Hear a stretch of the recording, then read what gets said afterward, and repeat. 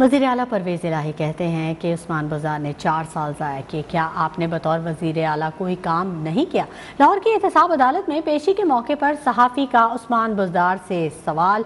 सबक वज़ीर अला का जवाब देने से गुरेज कहा अदालत में हूँ कोई बयान नहीं दूँगा।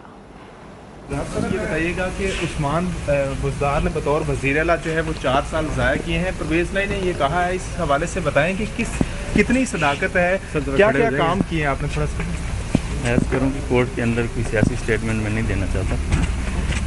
Thank you thank you thank you